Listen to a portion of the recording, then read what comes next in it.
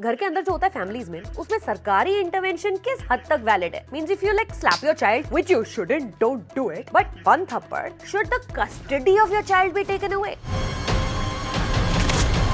This week on Pop Culture Patrol with me, Sacharata, based on the real life story of Sagarika Chakrabarti and husband Anurup Bhattacharya, Norway की child welfare services ने इस couple के दो toddlers को foster care में place कर दिया। Starting of a legal battle which turned into a legitimate diplomatic incident by the 2011 से 16 के बीच में तीन एनआरआई कपल्स के साथ ऐसा हुआ था in Norway for reasons that didn't acknowledge the cultural differences between an Indian upbringing and Norwegian बच्चे को हाथ से खाना खिलाना is seen as force feeding packing your child is extremely illegal sleeping in the same bed is seen as improper parenting These children were handed back to the father's family, but Sagarika ki fight continued on then as a single mother until 2013 जब कोलकाता से ruling आई in her favour movie में ये कहानी कैसे portray हुई है ये कल पता चल जाएगा अभी आप कमेंट्स में बताओ योर थॉट्स और फॉलो करो सिविक स्टूडियोज को for more pop culture patrol